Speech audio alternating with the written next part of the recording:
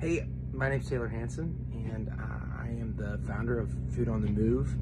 And I wanted to just say a few words about why we are who we are, where we came from, and, and really the inspiration for me for what we're trying to do.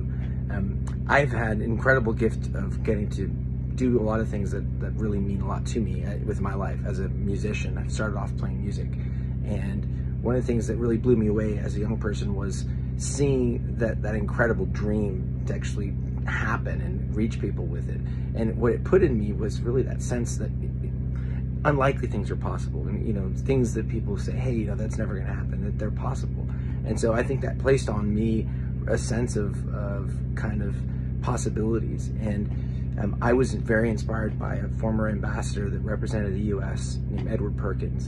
And he represented our country uh, in, in foreign countries, uh, representing our nation. And and what I saw in him was this incredible example of overcoming adversity, doing the impossible again, um, building relationships, forging connections, and more than anything, um, in in his work as an ambassador, he chose to build relationships and treat people with respect um, first. In in saying, hey, if we're going to solve great problems, we're going to do it by getting connect with one another, by respecting uh, each person, each leader, each community member, and really looking for solutions that are that are based on uh, finding common ground.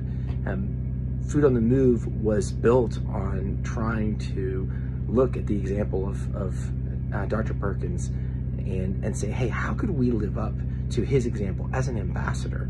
Actually, actually, literally as an ambassador, but in the figurative sense, how could we be ambassadors in our community? And we've you know utilized that inspiration starting with a gathering we did in his honor in 2014 to build an effort to look at food insecurity and taking on food insecurity in a way that was authentic and that was built on how do we forge relationships how do we learn how do we work with communities not do things to communities but work with communities to say you know what? We're going to change this together.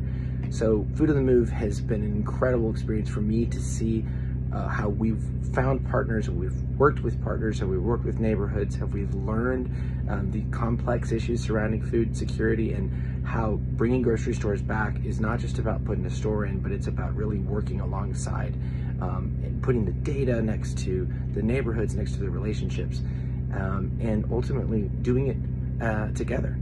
And to me, there's nothing more inspiring than seeing the ability of uh, individuals to really come out of their shell and, and see the human potential unfold. And that's what happens when we come alongside neighborhoods and and look uh, to to find common ground in order to make a difference. And hopefully, you'll join us in helping to support what Food on the Move is trying to do every day, which all goes back to that simple idea that anything is possible when you can come together.